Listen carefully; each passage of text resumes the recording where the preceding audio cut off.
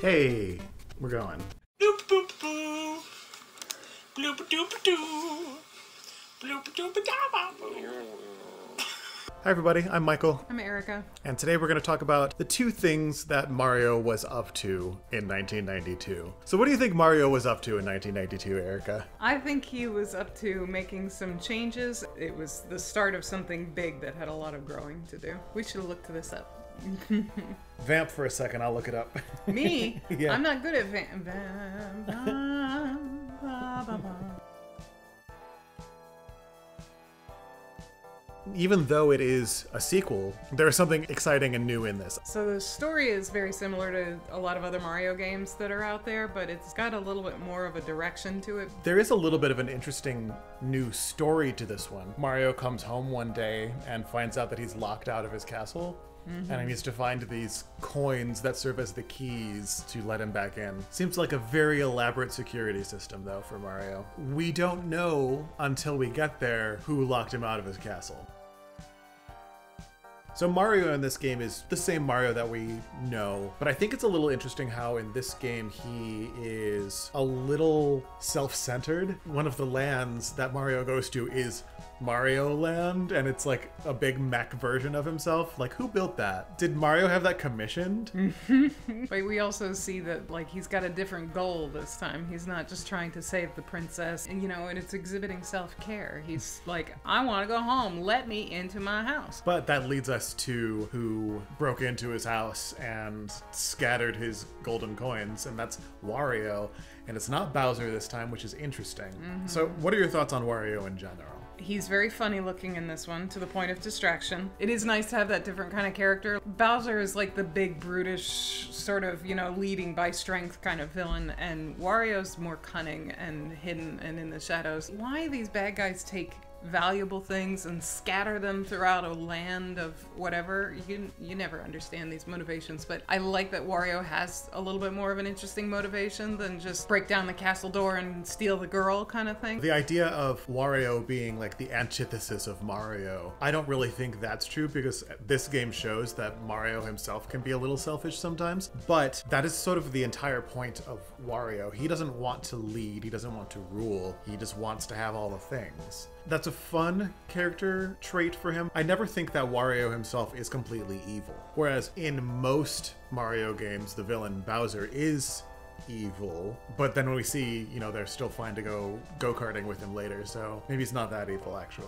Well, and most villains don't think of themselves as villains, they just think of themselves as being right. Yeah. So Wario's just following his own needs in this way, and you know, Mario, as we said, is kind of doing that too. So, Yeah. you know, it's not this altruistic thing where he's like, I gotta save the princess's life. He's he's got different motivations, and, and so does Wario. What did you think about the graphics of this game? It was startling to me because we obviously played this on the Switch, and it was startling to me how much it looked like a Game Boy screen. Like everything from the shape of it to the color scheme and everything else, and that this game was designed for that system specifically. You can tell that it was using the Game Boy to its full advantage, which makes it slightly clumsy on the TV and the Switch sometimes, but it's endearing, and you get used to that. Even in the scheme of Game Boy games, it was an improvement. So we'll get to design in a second, but with the graphics, I think sometimes some of the design elements, there's too much going on for a Game Boy that gives it some slowdown. It's chugging a little bit. There's some times that your jump feels extra floaty, not because of the gameplay, but because there's too much going on. The tiny little device can't keep up with everything. So I think that the graphics don't necessarily hold up all the way in this game, and it affects gameplay slightly, which is usually the thing that makes me not happy with graphics if they affect the gameplay. And so we started talking about design, and we both agreed that this game is really interesting and fun. I like how the different lands that Mario goes to here are not the typical ones that we see in every other Mario game. I love the Pumpkin Land, as and as much as I was making fun of it, I love Mario Land for just being so self-centered. Mm. and then we can also just go into the character designs. So what do we think about how Mario looks in this game? It's one of those things you kind of have to get used to because honestly, I saw it and looked at it as like, wait, is that really Mario? He's a little fuller and a little rounder looking in general in his body shape, and you're like, wait, is that really him? Yeah, it is him. I liked his design overall, especially with the power ups. I think it was really good to have some unique power ups that enhanced his physicality and, and allowed him to stand out visually from other iterations of Mario. Yeah, it's interesting how for the power-ups in this game, they don't want to change the sprite too much because that would take up too much computational power, but you can't just change the color like getting the fire flower in Mario 1. He changes color and that's how you know he has it. You can't do that on the Game Boy. I think you're right about how the power-ups look. I like how Mario Land 2 uses essentially the Super Mario World sprite in Game Boy form. It does have to make a few concessions to make it look right and fit. But he's taking up more of the screen in this game mm-hmm. than he was in Mario Land 1, where he was tiny comparatively. And then we've got Wario in this game, and he is a weirdo, and I kind of love it. He looks so goofy. As I said earlier, it's a little distracting how funny looking he is, but it's hard to kind of remember with the test of time. If this was the first exposure you'd had to Wario in any of these games like you wouldn't notice that it was kind of strange looking but it was it was a little cartoony even for me i liked wario's appearance overall for its uniqueness but it was still kind of weird which is part of the fun i guess What about the world map in this game? it's good. I like the layout of it. I like how there's little elements here and there that are kind of unique. You don't just walk over a bridge every time. Like there's the one where the turtle li- li- literally sticks his head out and grabs you and pulls you across the gorge. It's interesting to have those kinds of different elements on the map. I do wish you could see more of it at once, but with the limits of the Game Boy screen, they probably did the best they could in that regard, and it's not bad. It's it, I, I just would like to see a little bit more. I really do like the whole Polly Pocket kind of element of having like three or four boards within each one of those little worlds and, and have them be different and unique and have unique gameplay elements. Yeah, I really like the design of this world for all the things that you were saying, like the turtle, or just the way that there are so many ways that parts of this world map are so charmingly connected to each other. I also like the design of each of these individual levels a lot too. I think they look fun. There's some more specifically Japanese theming in some of these levels that I think is really fun. I like the goo that you swim through, stuff like that. There's some good stuff in this game. And the monsters in this game. What do you think about them? Oh, they're fun. I think there's a good balance of flying creatures and swimming slash underground creatures as well as the ones that walk on land. There's a lot of variation in there. There's not a lot of variation of what they do or how you attack them, but they're interesting kind of little characters in their own right. If you look at them close enough, you're like, oh, each one of those kind of tells a story. We loved the shark. Um, I loved all the bugs in the tree land. There's some really fun designs, and they didn't have to use this many. This game could have survived just fine with only a few of these new ones, but there are so many new designs in this game. The guys with the little hockey mask and a sword stuck in it. It's kind of creepy, but it's cool. I It like is it. cool, and they introduced that on the sort of pumpkiny Halloween type board with the graveyard, which all of it was creepy. Like you, the first world is literally a, bu- a bunch of coffins sitting next to each other, and then you go into the graveyard, and then you go to the witch's house. It's very well themed that way, and all of the design elements, including the villains, are lending themselves to that. I like how this game has a mono theme, and we talked about mono themes in our Super Mario World video, so check up in the corner for that if you wanted to click that. Basically, the idea of a mono theme is that it uses the same seed of a melody as the melody for all of the tracks, but the way it's orchestrated and accompanied by the other instruments and you know what instrument it's on changes to fit each different scenario. And I think that's a really interesting way to do this in a game. I gave it high scores in competition for that. I don't think that the instrument recording quality is amazing. I mean, they're not real instruments. It's it's all, you know, synthesized. But it's not too bad because it was doing what it could with the hardware of a Game Boy at the time. Kind of like the way the first Mario game was instrumentated. it's just not a word. They did what they could with the three sound channels they could put together. You heard certain sounds drop out because they needed to get something else in there on one of those three sound channels, and this is sort of the same. I don't know what the numbers are there, but the Game Boy would have been very simplistic in what sounds it could make. It only had that one speaker on the front panel. I think they did do a good job with what they had. And I also love, like you said, the theme and variations idea of the mono theme running throughout it, but they did give a lot of variety to that. I played this game from head to tail many times when I was younger and had a Game Boy back in the 90s, which was a long time ago now. But when we picked this up again earlier this year, instantly it took me back to all those sounds and I knew exactly where each piece was going and where what sounds were going to come and what things meant. So it does stick with you even if not on a conscious level. So, what do you think about the sound effects? I enjoy them a lot. They're not quite as clean as some other games in the Mario franchise, but they're good and again they're unique in their own right. This game was really very special on a lot of like sound quality levels again for what they could do with that system. So the movement in this game, sort of what we were talking about with the graphics, but also a little bit just in the gameplay itself. I don't really love how Mario feels. Mario has always been kind of floaty. Like I remember using my Game Genie on my NES, and one of the codes for the first Mario game was stop on a dime, so that Mario could just stop on a dime and not have to skid a little bit. There's a little bit of that built into what my expectations are for a Mario game, but this one seems a little extreme to me. You know, his jump is so floaty compared to many other Mario games. So it's not my favorite movement of him. It's not horrible, but it's not my favorite. I see that, but I also see how this sort of style of movement was very much in line with everything the Game Boy was doing. It fit in so well into that world for me that it wasn't quite as jarring. That said, it's still very jarring to get it on a 2024 TV set with the big screen right in front of you. You have to get used to it. I guess I was a little quicker for me because we had a Nintendo in my house, but my Game Boy was was mine. I was the only one that played it, so I spent a lot of time on it, and I think it just got a little more deeply ingrained in me than some of the other systems, even the Nintendo, which I also played all the time. What about power-ups in this game? Awesome. I love the carrot making you into a bunny rabbit. The fire flower we've seen in many games. It's the most popular thing. I didn't know what that little thing was until you pointed out that it was a feather. But I loved all the power-ups in this one, and I love how you can get different amounts of free lives and some of the hearts, things like that. Yeah, I do kind of miss having a spin attack with the power up that lets you float or fly, but it's not that big of a miss because we don't really need it in this game like we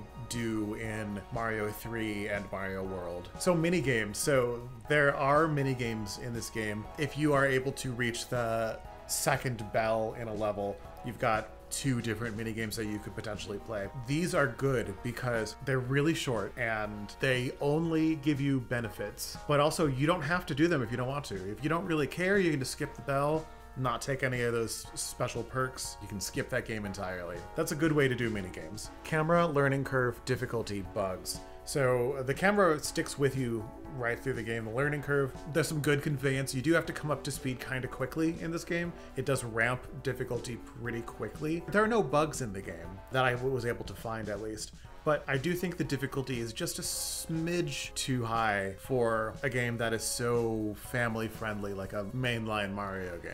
I'm almost gonna agree with you, just because the difficulty on this for me doesn't feel like it gets incrementally harder with each one. It feels like it ramps up to a certain level of difficulty pretty quickly and then stays there for a lot of the boards, at least in the initial half of the game. And then the learning curve on this kind of matches with that, you know, once you get used to it. And it can be frustrating to have to go through all these boards to get quick at things, but you learn a lot of the skills you need in the first couple of boards, so I feel like that is on par. I'm just glad that it doesn't get like incrementally too much harder after you get to a certain difficulty point.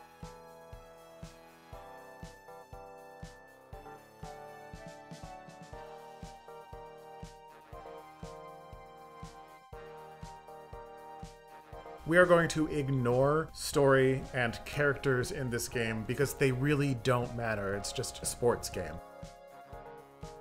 What do you think of the graphics of this game? They were a really good starting off point for the Mario Kart series, which, as we know, went through massive improvements with every new iteration of the game. But the graphics for this one were, were still really good and advanced for where it was at in the time span of video game development. This is showing off the. Oh, I, forget, I forgot which mode this is. I think it's mode 7. It's one of the cool things that a Super Nintendo can do that Nintendo couldn't. When we get to design, we can talk about the individual character designs. We, for the most part, gave all of these characters fives across the board, but there were some that we each didn't like as much. For instance, I only gave Mario a 4 out of 5 for this, just because this iteration of Mario, to make him fit in the cart, he seems to be a little stretched horizontally compared to most other versions of himself. I, on the other hand, was not terribly pleased with Donkey Kong Jr., which also I didn't realize it was Donkey Kong Jr. I was just like, that's just Donkey Kong, and he looks weird. It really was just that he looked almost unrecognizable to me as anybody that I would know. What about track design? It was good and very frustrating. I do wish we'd seen more like we did in the time trial of like being able to actually see the whole map at any point. Not necessarily while you're driving, like in the time trial, because that would be dis- distracting, but I liked how later games sort of gave you an overview of what you were about to play in before you actually get into the race, and that, that would have been helpful. But the tracks themselves were laid out very well, if not very, very challengingly. I like the variety in this game, and when you already have Mario characters who are racing go karts against each other, that's already weird, so you can be as weird as you want with this. You can have characters fall seemingly to their death, or fall in water, or fall in lava and be fine. I think it's delightful. The music in this game is really fun, and it's got so much character, and it's so delightful, I guess is a good word for it. The sound quality of this is still goofy, but this game's character is goofy in general, so I like that. This is another one I wouldn't say you have a hugely memorable soundtrack in terms of, you know, humming it to yourself while you're doing the dishes. But we all know this music very well. I imagine that when you're behind the wheel of a car, it probably could end up in your head once in a while. I think a big part of why this game's soundtrack is not as memorable, maybe, is because there are a lot of things that are basically instrument soloing, and like playing a blues lick here or there, or a little jazz riff or something. Sound effects are not as strong in this because you're always hearing the brrr of your little your cart's little motor and the squeaking of your tires when you turn. So that kind of overpowers a lot. I was noticing as we were playing just a minute ago that sometimes when I got a coin, I heard the coin sound, and sometimes I didn't because there was just so much going on. Not to the point of it being bad, but I wonder if this game could have been sort of rebalanced in its sound to make some things more important than others. I'm glad I didn't hear a sound every time you got a coin because it was a lot more than me. How do you feel about the controls in this game? very strong, very easy to kind of catch on to what was going on. There are some later versions of Mario Kart where there's a lot more buttons you have to hold or, or press or, or get used to using. I would imagine this is probably one of the easier ones to just pick up and play if you've never played before. I do kind of like how it's simpler and like there's not the drift boost in this game. There's no doing a trick over a jump to get a little bit of extra speed or something like that. I don't mind that in the in the later Mario Kart games that do that, but I like that this one's just very simple, very flat because it sort of has to be for how 3D or some semblance of 3D works on the Super Nintendo. I gave it a 4 out of 5 for both the controls and the weapons because I liked the later versions where you could do more. But when you're doing less, it, it is a little more user friendly and it's a little more like down to like the core guts of what you're actually doing rather than, you know, any kind of flashiness. What makes a racing game different from a kart racer is the items that you get. I like that through each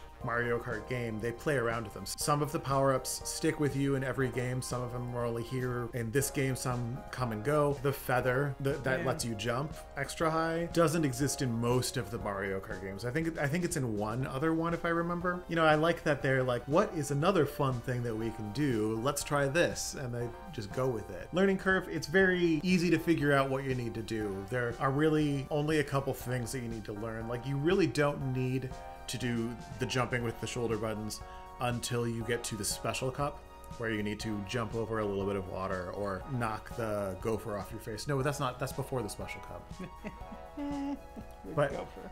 Monty Mole anyway. But mm-hmm. There's a simple kind of learning curve to this, but then you do need to practice. I gave it a 4 out of 5 for difficulty because really hard on some ways that are that is frustrating to me. That but that doesn't diminish my enjoyment of playing it. And I sort of forget that not everyone was like me. My brother and I got this game fairly early after it came out, so I probably had it in 92 or 93. It became my tradition that this was always the game that I played when school was delayed because of fog or ice or something, or when I had a snow day, that always made me want to play Mario Kart. Even to this day, whenever I wake up in the morning and I see snow on the ground, it's like, oh, I want to play Mario Kart.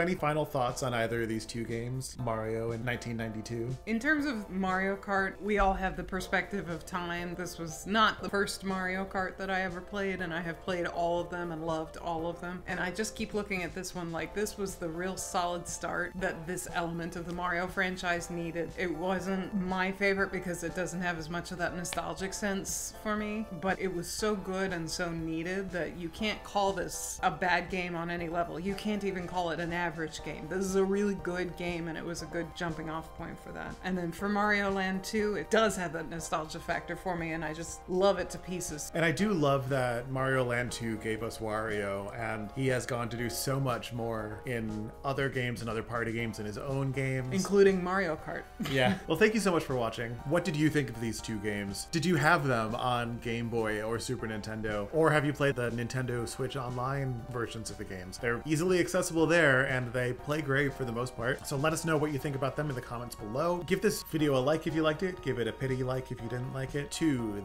this side is a video that YouTube thinks you might like. So check that out if you're interested. Up there is the button you can click to get to our channel and you'll see that we do reviews of video games and music and we just generally talk about media as well. Follow our channel if you're interested in that sort of stuff. We'd love to have you. And that's about it. Maintain your groovy selves. Bye.